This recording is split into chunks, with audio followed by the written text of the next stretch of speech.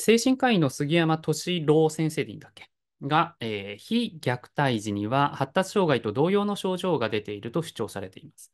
また、現在の非虐待時は、非虐待時は非行少年ではなく、発達障害として可視化されているという趣旨のことも発言されていました。で、いわゆる第4の発達障害、発達性トラウマ障害の話なのですが、えー鈴木社長は、え杉山先生の説に信憑性を感じられますか？また、もし信憑性を感じるなら、これまで肝炎が支援してきた利用者の中にどの程度非虐待児が含まれていると思われますか？あちなみにですが、杉山先生曰く、有名な児童精神科医の方々からは大バッシングを受けたそうです。ああ、ここに私が踏み込めと。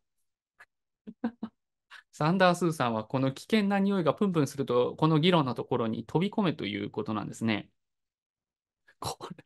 ちょっとライブで、ライブで答えるには非常に、非常に大変な質問だな。えーっと、丁寧にいこう。えーっとですね。いや、もちろん意味はすごくよくわかりますよね。あと、発達障害の定義をどういうふうに捉えるかによると思います。だから、その DSM-5 とか ICD-10 とかって言われるような、あのー世界のあの標準とする発達障害の定義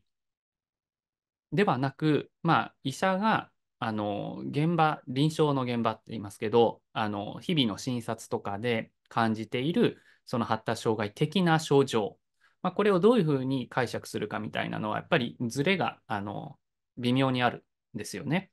なので、医学界で決まっているその、えっと、定義で主張する方っていうのは、バッシングみたいに杉山先生のことについては言うかもしれないですし、現場で見ていて、現場の感覚で発達障害的な症状っていう時は、あの、それを納得される方が多いかなっていうふうに思います。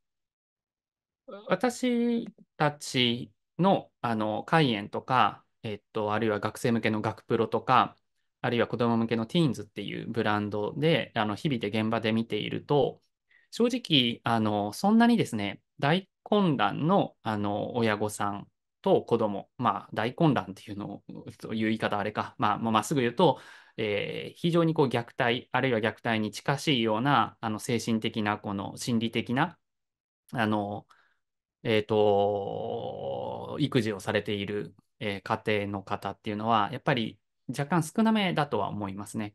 え違う言い方をすると、肝炎をきちんと選んでこられるような親御さんや当事者っていうのは、やはりあの比較的安定したご家庭が多いのかなっていうのが印象です。ですので、えあまりですね、あの、なんだっけ、肝炎で、えっと、こういう人が来てますか？支援した、支援してきた利用者の中にどの程度非虐待児が含まれているかって言われると、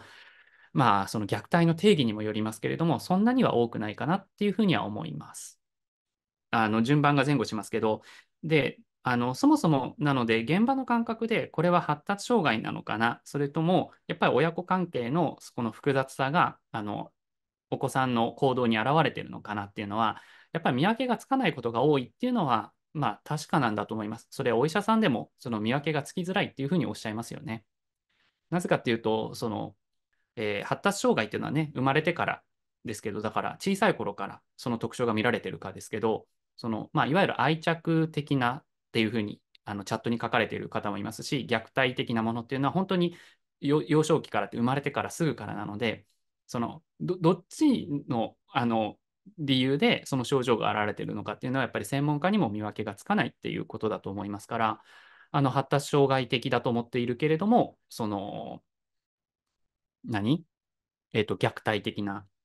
えー原因が元に発達障害的に見えているっていうのは、まあ当然あり得るのかなとは思います。はいそのあたりの見あの見分けを、見立てをなるべくするために、当社も、えっ、と、ご本人のアセスメントをするときは、大人の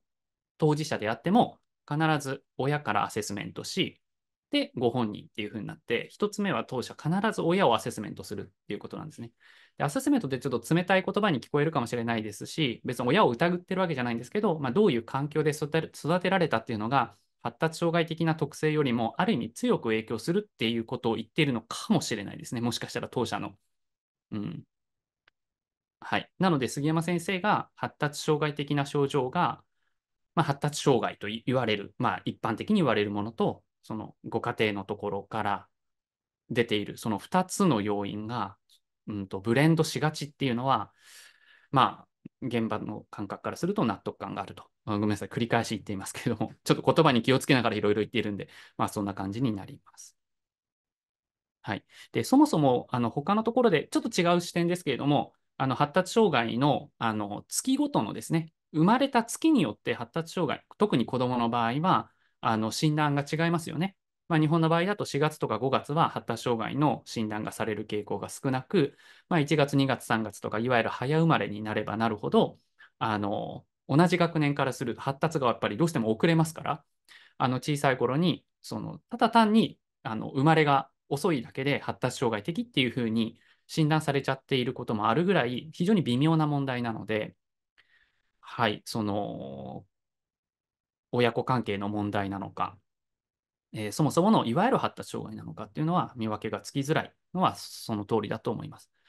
あと、私はそのいわゆる飛行とかっていうところにはあまりこう関わる機会が実はないんですが、まあ、可能性として、まあ、昔はそういった非虐待的な人が飛行に走ってたのが、だ外にこうあのエネルギーが出てたのが、現代社会では内側に、まあ、それがその他人とのトラブルとか、イライラとか、えー、と引きこもりとかっていうことで、えー、発達障害的に診断を受けたり、特性が見えたりっていうことがあるっていう杉山先生の話は、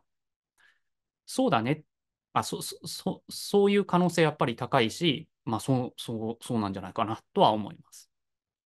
なので、最終的にあの福祉の現場からするといつもスタッフに言ってるのは、できる、できないっていうよりも、どこまでその人が変わる、変わらないっていうのをちゃんと見極めましょうと。やっぱり生まれ持った特徴というかな、え、ー、と、まあ、知的な、やっぱり、えっ、ー、と、IQ の高さ、低さとか、やっぱり発達障害の凸凹みたいなところって、そんなにやっぱり変わらないですよね。特に同年代と比べた、そのギャップっていうのかな、特徴っていうのは変わらないけど、その親とか、あるいは生まれてからのいろんな体験によるものっていうのは、えー、まあ、克服っていうとあれですけど、修正しやすいところだと思うので、自分でどこまで変化してもらった方がいいかとか、周囲を本人の変わることはちょっともう一旦、えーと、諦めてというかな、ちょっとその短期的には変わらないから、周囲、環境を変えた方がいいかっていうのは、やっぱりあの杉山先生がおっしゃっているこのあたりを見極めるのが、まあ、支援なのかなとも私たちも思ってますね。はい。ということで、1問目からまさに海芝浦さんのように、渦中の栗を拾う、鈴木社長という渦中の栗を拾わされたっていう感じです。はい。まあでも、はい、えー、こんなところかなと思います。こんぐらいで勘弁してください。